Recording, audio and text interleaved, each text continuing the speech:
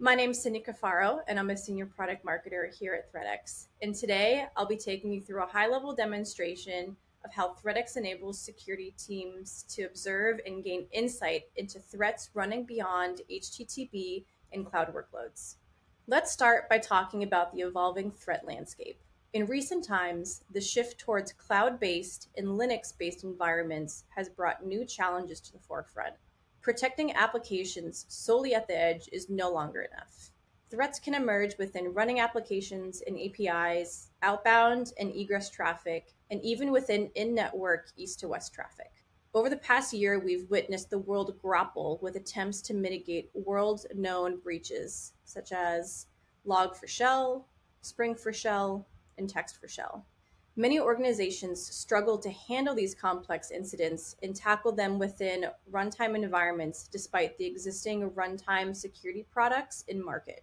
Runtime threats have been a long standing concern in the cybersecurity community, but traditional runtime protection approaches have been far from perfect. For example, RASP, or Runtime Application Self Protection, has required the deployment of agents for every component within the tech stack leading to deployment and maintenance challenges, with agents actively imposing CPU load and impacting application performance, as well as increasing operational costs. So, why eBPF based security? To address these evolving threats, we recently announced a new solution Runtime API and Application Protection, designed to safeguard your workloads at runtime. In order to overcome the historical limitations of RASP solutions, ThreatX Runtime Protection leverages a technology called Extended Berkeley Packet Filter, or eBPF, a powerful framework that attaches to the kernel level within Linux environments. eBPF allows us to achieve real time visibility into application processes and network traffic and protect runtime environments without modifying kernel code granting insight into system components and activities beyond HTTP traffic. It enables us to monitor network flows, process tables, environment variables, and so much more. Unlike other methods, eBPF allows us to peer into kernel level data without risking the integrity of the OS and enables ThreatX runtime protection to extend risk based blocking to runtime environments, protect against threats including runtime threats, malware, and malicious rootkits, block high risk transactions such as data exfiltration attempts or excessive data exposure, and detect and track threats across cloud native and multi cloud infrastructure. ThreatX Runtime API and Application Protection is the first cloud native solution to detect and block runtime threats to APIs and applications. Its patent pending capability leverages eBPF to extend protection to the runtime environment and deliver real time blocking for runtime threats. The ThreatX wrap solution is easily deployed as a sidecar container within a Kubernetes environment. Leveraging the eBPF technology, ThreatX wrap enables deep network flow and system call inspection, process context tracing, and advanced data collection, profiling, and analytics. Powered by eBPF, ThreatX Wrap inspects network traffic anywhere on a host or node without requiring an inline deployment. ThreatX Wrap may be deployed as a standalone solution to address runtime environments or be coupled with ThreatX's API and application protection edge solution for 360 degree ability to detect, track, and block threats to APIs and applications. ThreatX's runtime dashboard provides a comprehensive system overview of your runtime environment.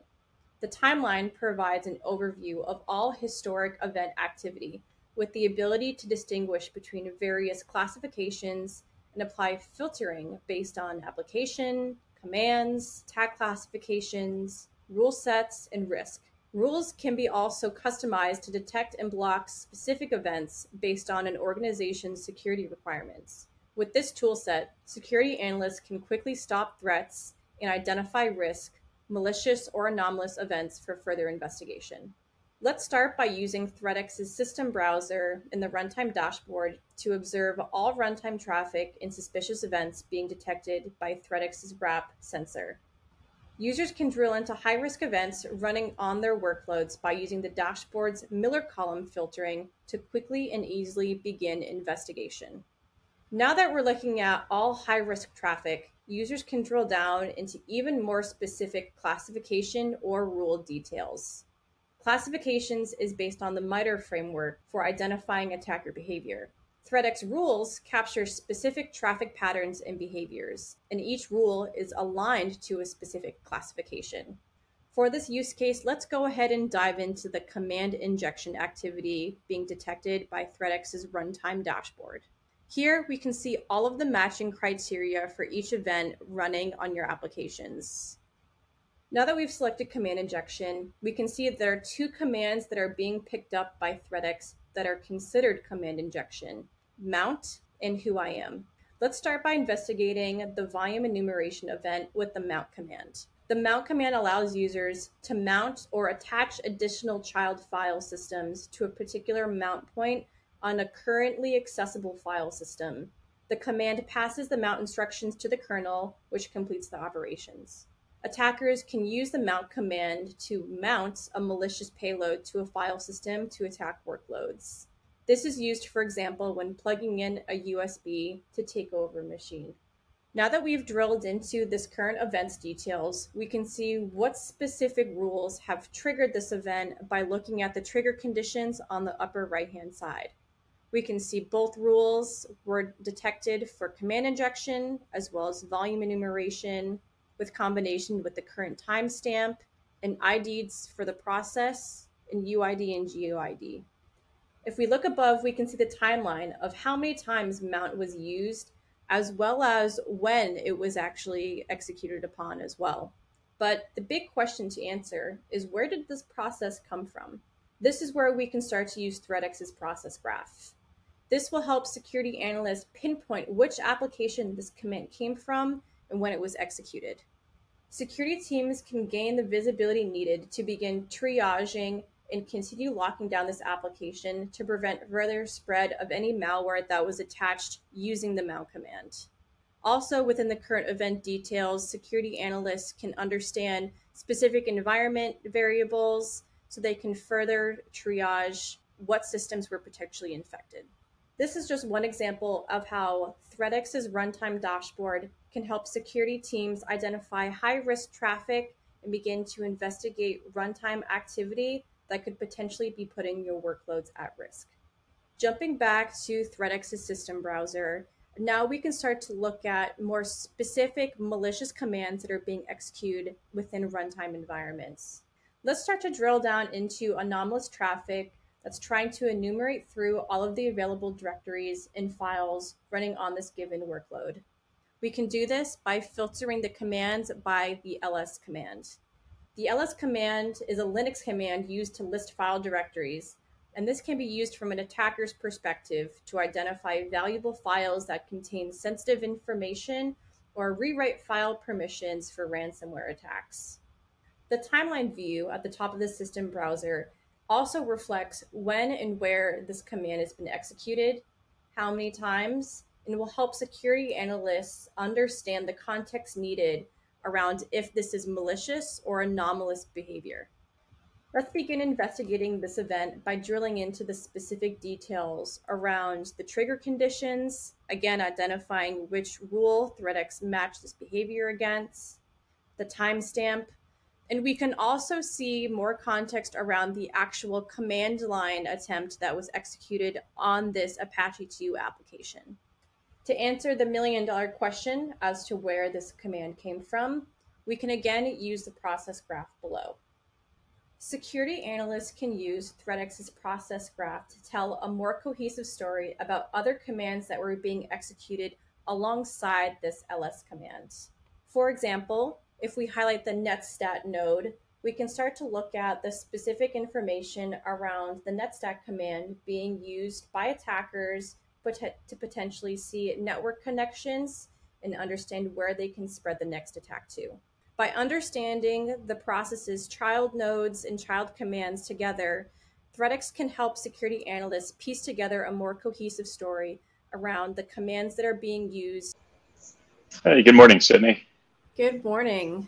Alex, Tyler, thanks so much for joining us for this event's live Q&A. We really appreciate both of you taking the time to join us. Um, to really open up the conversation. Thanks so much. Yeah, of course, anytime. Um, to really help us open up the conversation, um, Alex, I'm hoping that you could begin by helping to explain to the audience the backstory around how ThreatX's runtime capabilities really expand the original platform offering. Yeah, absolutely. So um, historically, we had pretty strictly focused on edge protection. So expanding capabilities by like advanced TLS fingerprinting, building out various analyzers, um, really just trying to hyper focus on ensuring nothing makes it through the edge that shouldn't be. Uh, with with Log4j, we kind of found that that was extremely difficult when there's really easy ways to uh, obfuscate payloads and really like rotate through a bunch of permutations of that obfuscation. So that kind of drove us to want to look into um, other methods of, I don't know, really like identifying what the payloads are actually doing and kind of just getting a, a more clear picture of what's happening on the application host itself or like within the application this led us down a path towards um, eBPF technology where we found that it was really easy to get a clear view of what's happening in the application and on the host itself. So uh, that's kind of what drove us down this path, I guess. Perfect. Thanks so much for kind of starting us off the conversation of really how this capability started to evolve and really some of the research that you've done on um, the cybersecurity side of things and how that impacted that decision. So thank you. Um, Tyler, I want to switch this also to the product side. Can you walk us through kind of the decision-making process when deciding to pursue um, building runtime capabilities for ThreatX? Yeah, absolutely, Sid. Um, two kind of key trends I would highlight uh, that you touched upon in the, the presentation. Um, number one, the proliferation of cloud adoption. Uh, by no means anything new, but as that continues to, uh, you know, saturate in the market, these attacks are are becoming more at the forefront. And we see the trends of those types of runtime attacks emerging, whether it's a log4j or a log4shell. A lot of great examples that you called out there that a lot of organizations are really struggling to address. And whether it's in the form of visibility or more proactive protections to be able to stop those threats, that's exactly what we're trying to solve. And as we talk to customers, these types of things are really a big blind spot right now in terms of being able to see what's going on within a a workload, being able to take proactive measures to not only identify those things, but stop them in their tracks. And so where we see, you know, the, the general trend of the market going is more customers adopt cloud or other cloud native technologies, having that visibility and awareness into workloads is critical for both meeting business and security requirements. And that was really the big thinking and strategy behind building out a cloud native runtime protection solution. Um, so we're, we're thrilled about the capabilities that this adds to the platform and, and really being able to help our customers solve some of their toughest problems out here uh, when it comes to security at runtime.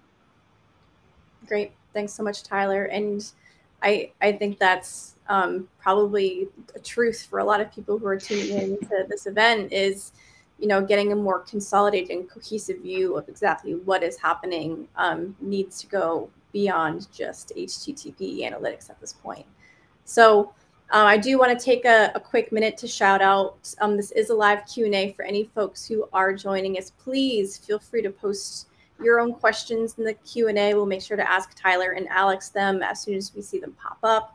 Um, but looks like we have another really great question coming in. Um, Tyler, Alex, uh, this would be one for both of you, actually. Um, could you give our audience maybe one or two examples of runtime threats or examples of cyber criminals hijacking workloads for for runtime attacks? Absolutely, I'll take that one and jump in. Um, there's certainly a lot of different attack vectors and attack strategies for how attackers can you know, get into a workload, hide do nefarious things, do malicious things. Um, you know, it feels like there's a number of different attack vectors that will pop up in the news. But uh, a great example, one that uh, you know I saw in the news just the other day, was uh, basically an attacker had infiltrated somebody's Kubernetes cluster and ultimately installed uh, kind of a backdoor to be able to actually hijack that cluster, leverage it for a crypto mining purpose. So if someone sees their AWS bill going through the roof and they're wondering why is that, it's basically because those that uh, the resources in the cloud, CPU and otherwise, had been uh, basically hijacked for nefarious purposes. And and that really highlights that lack of visibility where attackers can get into your workload and you may or may not know it. It may not be evident right away. Maybe there are some signs, but um, there's there's many different other attack vectors like that. That you know, without that integrity and fidelity of the workload, nefarious things could be going on in the background that you may or may not have any idea about. And so our solution really is designed to provide that kernel level visibility up through the tech stack to be able to see everything that's going on, whether it's anomalous or explicitly malicious. We're able to categorize that, classify that based on the different types of commands, different patterns that are being detected within there. So again, that's one of many examples I could offer up personally, but um, that's ultimately how our solution is designed to provide our customers with that observability and detectability within the running aspect of the workload.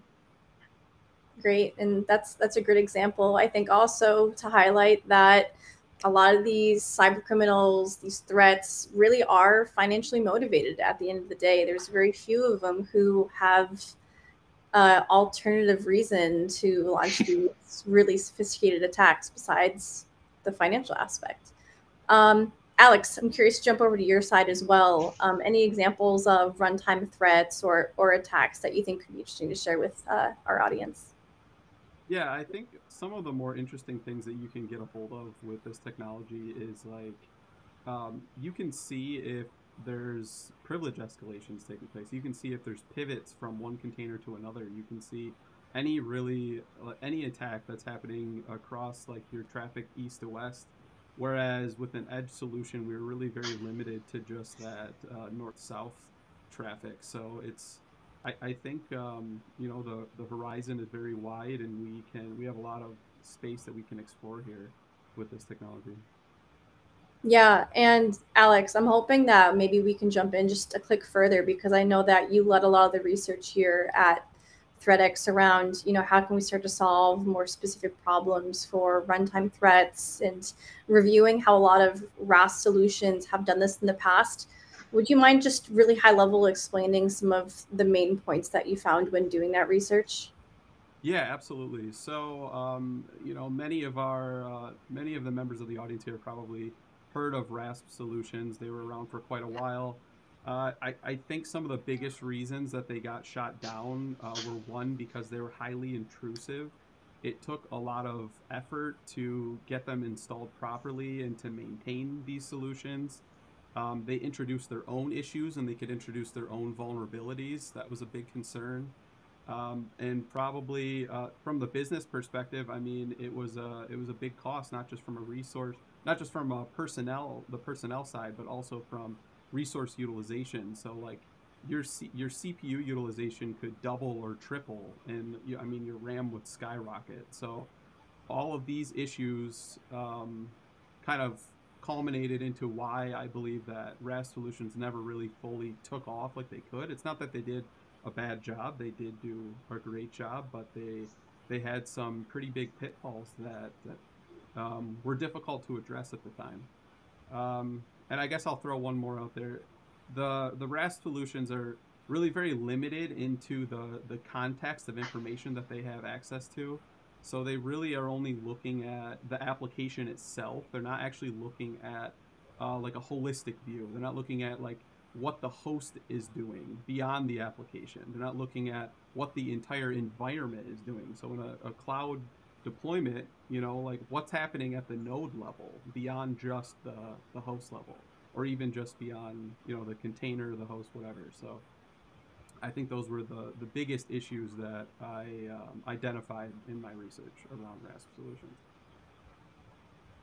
Great, and I really appreciate you sharing the depth that it really got into for evaluating the current problem state of the, the um, RASP solutions, how you know it may have been a solution, but it was a solution that might have been uh, hard to manage or taken a massive effort to roll out.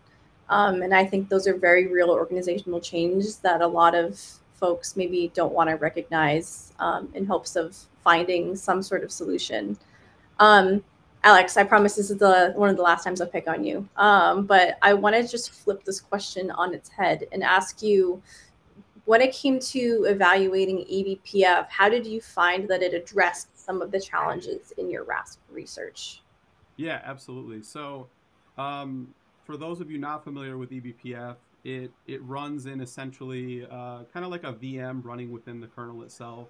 It has its um, own methods of verifying the bytecode that you're introducing to this VM, and it's um, very locked down. Like um, memory allocation is set up up front.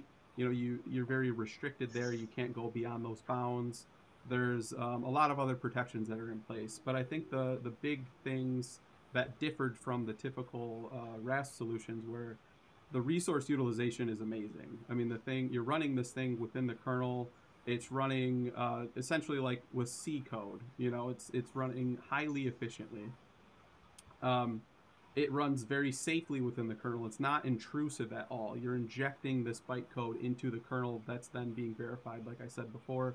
So it's it there are lots of checks in place that are making sure it's as secure and safe as possible. It's very far removed from any kind of kernel module or like custom kernel modification or anything remotely similar to that.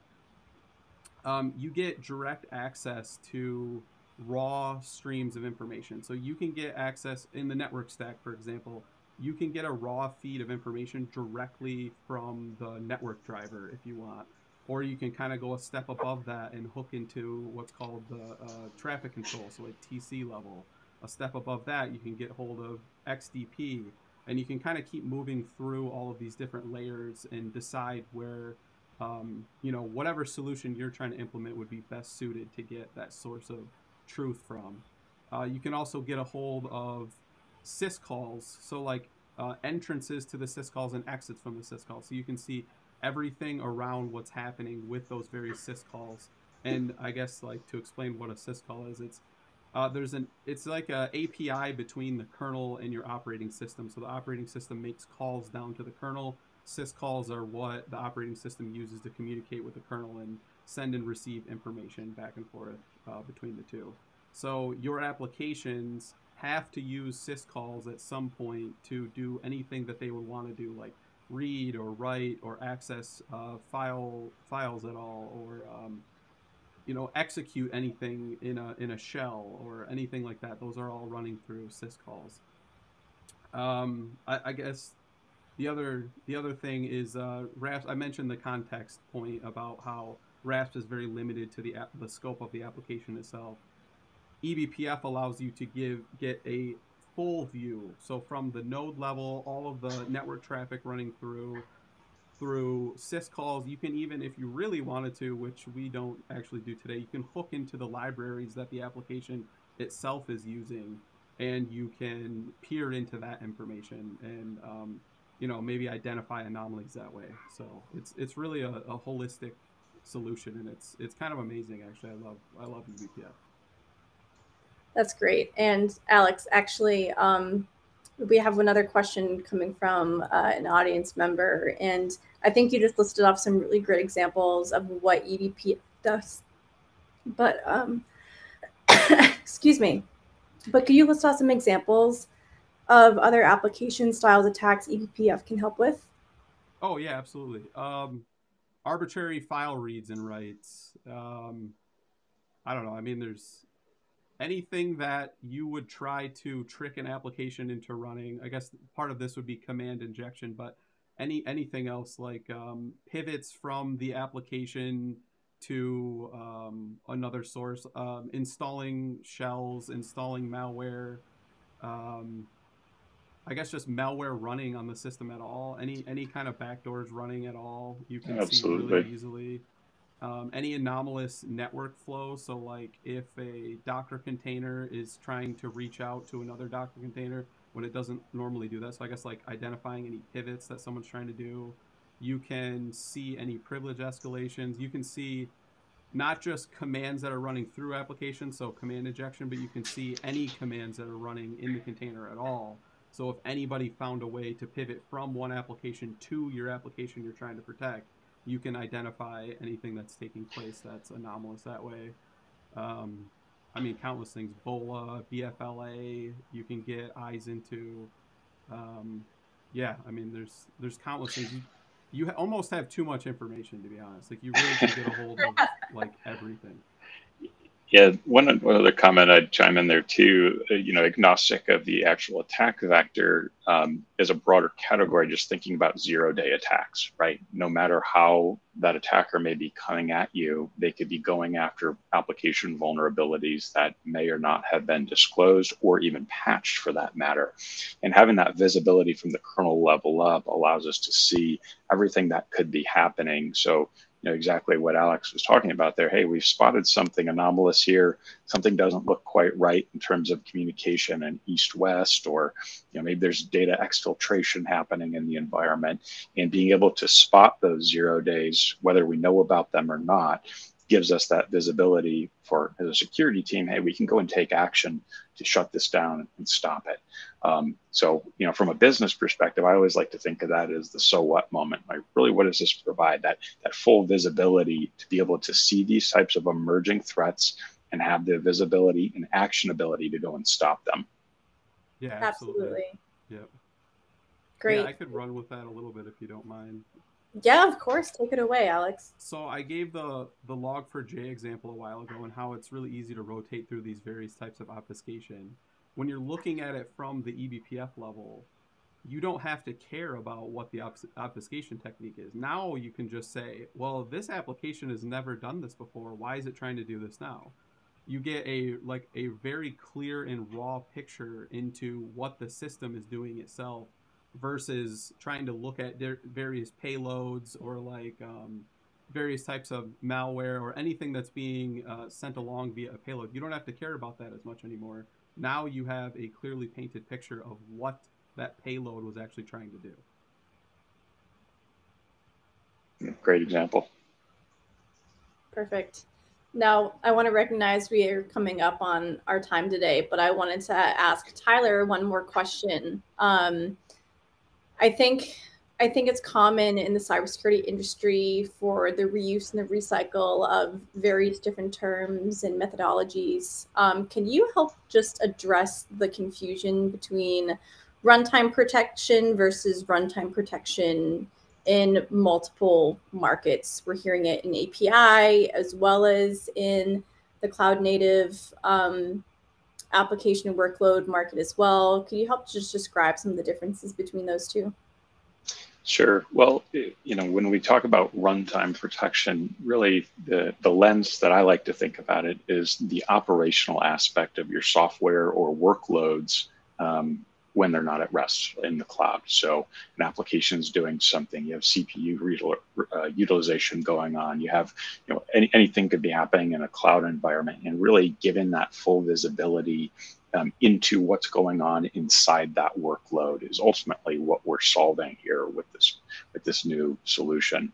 Um, a lot of times you'll hear runtime protection tossed around loosely, um, thinking about, hey, we're just hitting your APIs and what sort of visibility do you have at the gateway or beyond? And that's great. Absolutely need to have that sort of visibility. But what's actually happening inside once a request is processed, passed from the gateway and going into the tech stack to go and process a resource, or go in, you know handle x number of commands and really giving that holistic view of what's going on inside the workload is what we're aiming to solve here in a new and better way leveraging ebpf as that core technology versus the RASP solutions of yesteryear that you know as alex pointed out had leveraged a lot of the agent based deployments to have to manually you know manage those across your tech stack and you know ultimately don't provide the full visibility. They also have, you know, often had a lot of blind spots Um, so when we think about you know runtime, that's what really what we're talking about here, that full visibility inside the workload that you can be running. Perfect. Well, Tyler, Alex, I want to thank you both so much again for joining us for live Q&A today, answering some of our audience members' questions, um, and just helping to spread the understanding of how ThreatX provides runtime protection for APIs and applications. So thank you both so much. Absolutely. Awesome. Thank you. Thanks for Pleasure to be here. Thanks. Perfect. Well, I want to thank everybody again for joining us today for the event on observing attacks beyond HTTP. We'll be giving away a select few attendees um, some ThreatX swag as a thank you to us. And we hope that you stay cool and enjoy the rest of your summer. Um, follow us on LinkedIn for future events. And thanks again.